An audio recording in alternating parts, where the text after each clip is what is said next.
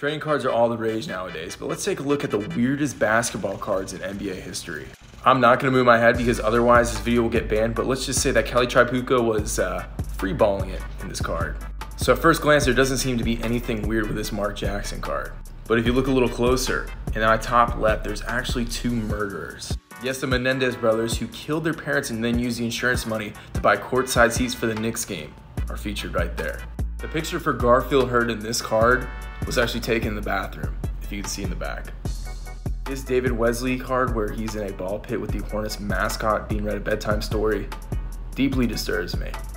Even more disturbing is this Ray Allen card where he's being growthed by a giant robot insect. Same thing here for this Chris Webber card where this insect is going straight for the family jewels. And then of course, haha, Steve Nash is Canadian, so he must like hockey.